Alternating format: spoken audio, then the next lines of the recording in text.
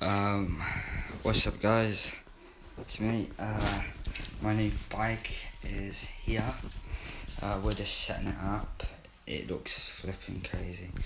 Uh, and yeah, guys, that's basically it. Um, when I get this thing all together, I'm gonna um, show you uh, it and how to start it and all that.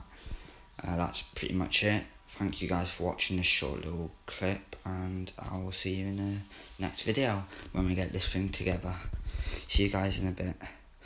Uh, like and subscribe for more content. Peace.